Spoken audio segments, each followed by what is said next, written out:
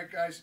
Now the ones I'm getting from the Philippines, or uh, the yeah the Philippines now, um, they're bundled like the Japanese kabuki streamers, which cost two to three times as much for these uh, throw streamers. So they're banded with a little tissue paper band, which you break, and it has a flap. You hold it, and then you open it and throw.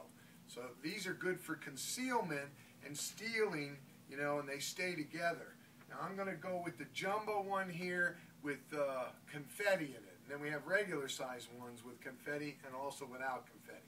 So if you were to steal this, you're going to break this tissue paper right here. Now I've got the flap. There it is. And you're going to hold on to that flap and we're going to toss. So get ready.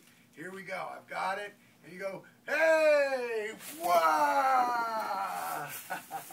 and then you can draw all this back like this and have a big um, you know, cover if you wanted to produce a dove or produce something from it. But this way you've got confetti flying out and the streamers.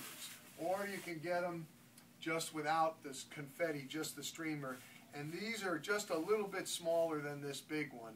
Uh, maybe um, not quite as many rolls of streamers shooting out, but they still fly out and they go out about 20 feet when you really throw them. Okay, that's it. Hope you like it. Get them now.